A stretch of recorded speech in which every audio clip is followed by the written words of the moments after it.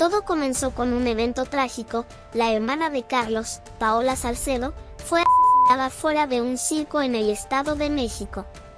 Sí, justo después de llevar a su hijo al circo, dos hombres en moto la asaltaron y le dispararon.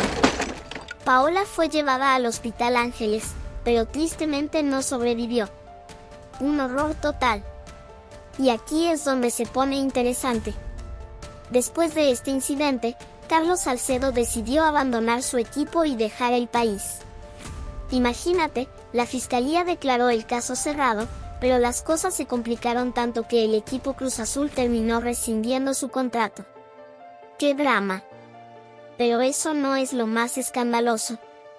La madre de Carlos salió en redes sociales con acusaciones gravísimas, diciendo que su propio hijo y su esposa, Andrea Navarro, fueron los autores intelectuales del asesinato de Paola.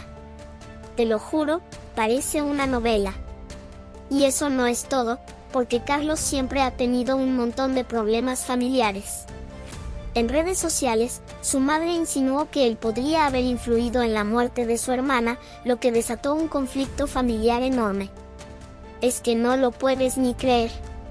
A lo largo de los años, Carlos ha navegado por un montón de problemas personales. Descubrió que su padre había transferido una propiedad a nombre de Paola sin su consentimiento.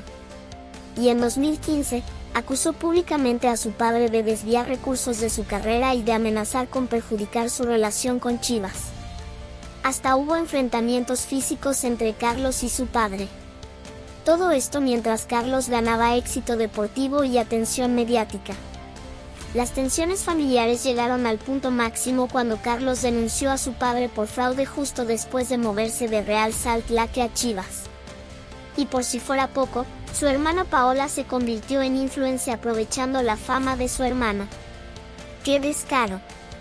Carlos también descubrió que su hermana intentaba extorsionarlo con 5 millones de pesos para no revelar detalles de su vida privada.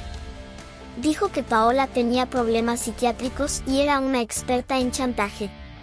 Además, Paola se hizo amiga de varios jugadores de Chivas para sacarles información y chantajearlos. Esto es de locos.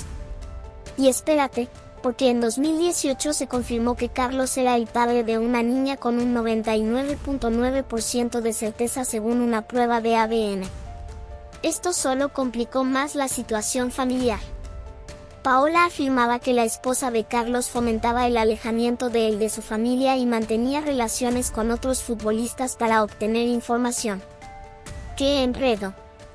Además, el padre de Andrea, la esposa de Carlos, fue asesinado en Guadalajara en un aparente ajuste de cuentas por vender autopartes robadas. Es que no se puede creer. Paola, en medio de sus problemas legales con Carlos y su esposa, mencionó que Carlos solo tenía contacto con su esposa y algunos familiares específicos. Y aunque las tensiones parecieron calmarse cuando Paola fue madre, seguían latentes. Para colmo, Después del asesinato de Paola, Carlos salió del país y pidió a Cruz Azul que lo colocara en un equipo extranjero, lo cual no fue posible. La madre de Carlos no paró y acusó a su hijo y a su esposa de ser los autores intelectuales del ataque a Paola. Esto causó que Cruz Azul rescindiera el contrato de Carlos, y la fiscalía no descartó investigar las declaraciones de la madre. Un giro aún más oscuro. El chisme no termina ahí, porque después de todo esto, Carlos desapareció de la escena pública, dejando solo un mensaje en sus redes sociales agradeciendo el apoyo de sus seguidores. Todo este drama parece salido de una telenovela.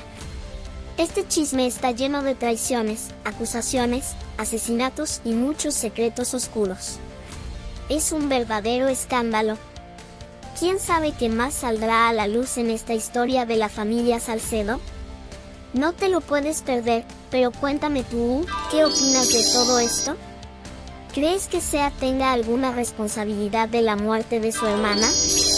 ¿Te parece raro su repentina necesidad de querer salir del país? Te leo en los comentarios y te veo en un próximo video.